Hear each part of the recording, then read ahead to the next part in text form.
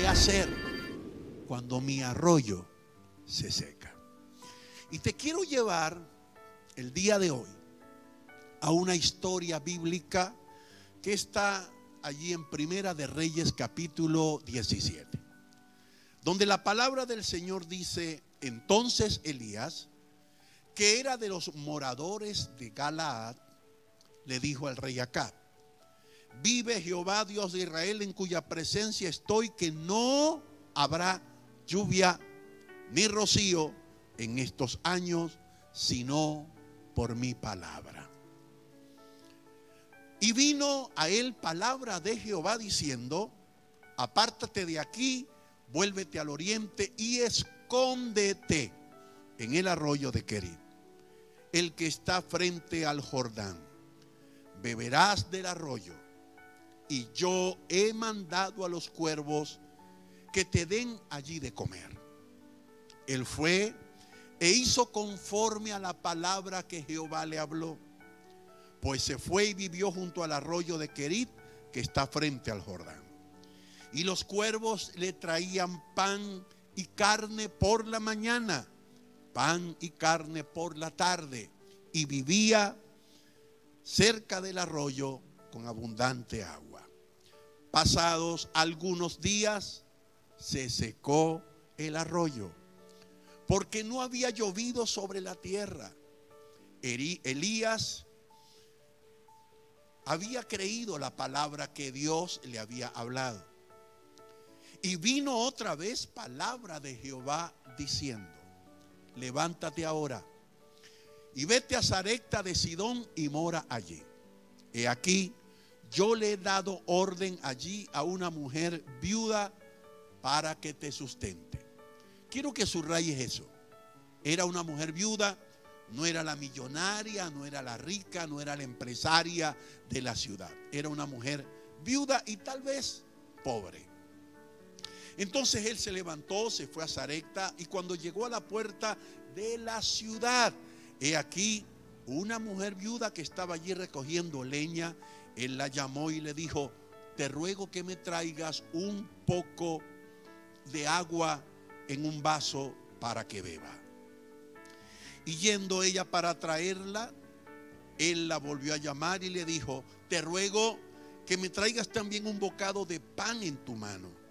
Y ella respondió, vive el Señor tu Dios, que no tengo pan cocido, solamente un puñado de harina tengo en la tinaja, un poco de aceite en la vasija y ahora recogía leños para entrar, preparar para mí y para mi hijo para que los comamos y luego nos dejemos morir. Elías le dijo, no tengas temor. Qué hermosas palabras.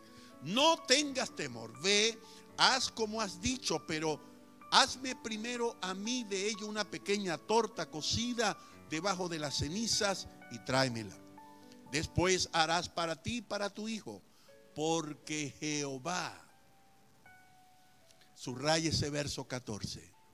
Porque Jehová, el Dios de Israel, ha dicho así: La harina de la tinaja no escaseará.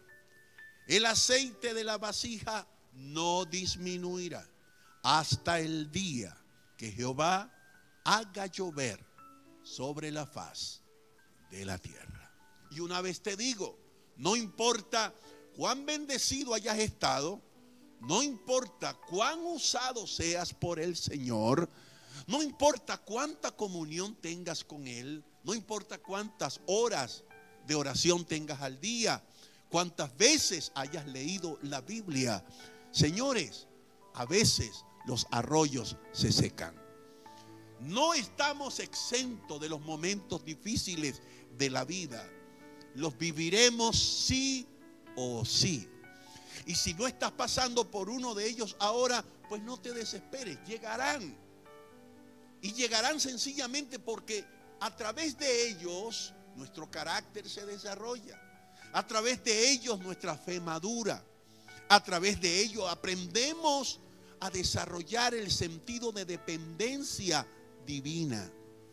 Aprendemos a despojarnos de nuestras habilidades, capacidades abandonamos nuestro razonamiento lógico y aprendemos a creer en lo milagroso, en lo insospechado, en lo inesperado de Dios.